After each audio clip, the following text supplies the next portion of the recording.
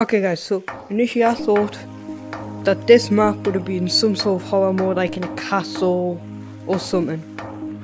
And it still does add up, but I've got even more evidence that this is going to be in like a castle or a horror game mode in a dungeon really.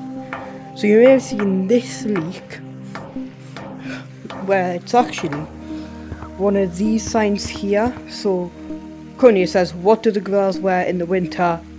April, where it's actually one of these signs here. So currently says, what do the girls wear in the winter?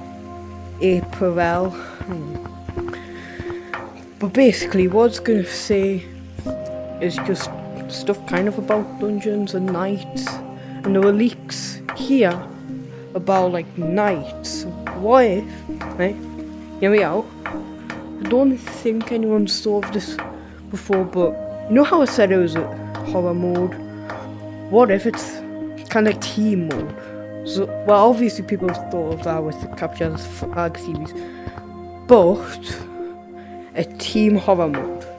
So you need like a maximum of a certain amount of people. And the reason why it's going to be a team, because there's going to be no respawns or something. Or maybe I might like need someone to do one thing, like stand on one pressure plate, kind of like in Minecraft games, one of them Mr. Beast videos where they were just going around these different rooms and how we need some money. There's the one where they introduced feastables, and this one guy, right, he has to stand on this pressure plate, and he just has to stay there. But I think in Gorilla Tag, it's going to need to be two people stand on pressure plates but we're all going to be like in knight costumes. And what I think, the thing that's going to be chasing us around, obviously won't be a snowman. What's this going to do? What is it going to do? What I think going to be chasing us around might be something like a dragon or a knight, because it's got something about like dungeons and stuff. We'll know like them knights and dragon things, you know. So it might be like a dragon, or maybe, right? Might be something like no no clip VR based in the back room sick might be a horror game or if it's something.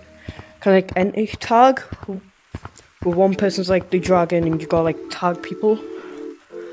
Obviously like you got that Gorilla tag but there's a way for the people who aren't tagged to win which is obviously by completing something which is basically just another addition to the theory you know we've already had the theory it's practically confirmed with Gorilla Tag on Steam being like horror now.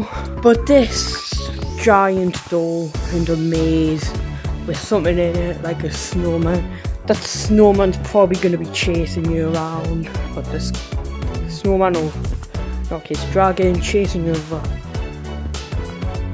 Those guys just no clipped into the back room. But you're gonna have this guy chasing you around. Not gonna be like this. I mean, like his face is kind of creepy. Hello, hello.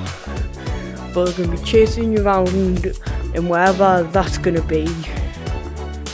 Yeah, I don't think it'll be next update because you know we've got the sand in um, forest, and then you got the um door, which I think they'll just keep on adding more to it. So, but who knows? And then we'll have the April Fool's update. Or maybe all the textures are completely screwed up. It's like this texture could be on this gun.